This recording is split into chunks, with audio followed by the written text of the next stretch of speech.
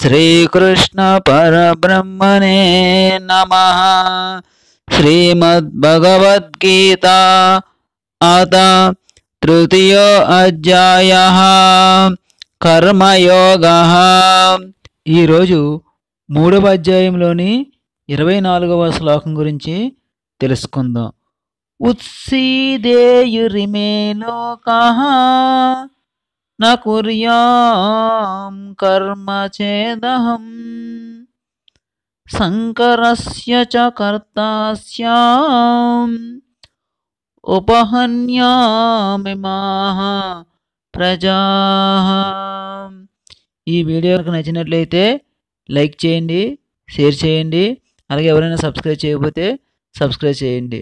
అలాగే bell icon tap చేయండి మరిన్ని వీడియోలు అప్డేటు అవుతాయి.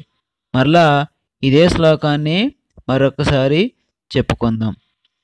ఉత్సీదేయురిమే లోకా న కర్మ చేదహం శంకరస్య చ కర్తాస్యాం ఉపహన్యామిమాః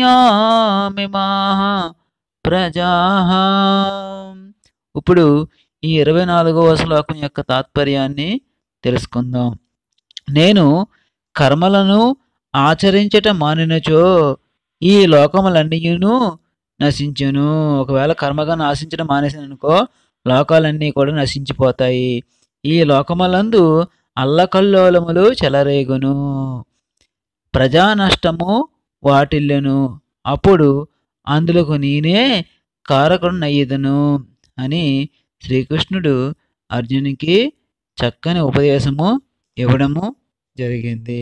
అంటే కర్మలు ఎవరైనా సరే ఆచరించకపోతే దానికి గల నష్టం అనేటటువంటి ఎక్కువగా జరుగుతుంది అనేటటువంటి విషయాన్ని శ్రీకృష్ణుడు చక్కగా అర్జునుడికి వివరించడం అనేటటువంటిది జరిగింది. కాబట్టి ఈ భగవద్గీతలోని శ్లోకాలు చదువుకోవడం వల్ల మనకి నైతిక విలువలు అనేటటువంటివి మానవతా విలువలు అనేటటువంటివి అలాగే మనం ఎలా ముందుకు నడవాలి మనం సమాజంలో ఉన్నత స్థానాన్ని ఏ విధంగా అధిరోహించాలి అనేటటువంటి విషయాలన్నీ కూడా చక్కగా అవగాహనకు వస్తాయి. అందుకనే భగవద్గీతలోని శ్లోకాలను ప్రతి ఒక్కరూ కూడా రోజుకొకటి చొప్పున చదువుకుంటే జీవితం అనేటటువంటిది ముందుకు సాగడానికి అవకాశము ఉంటుంది.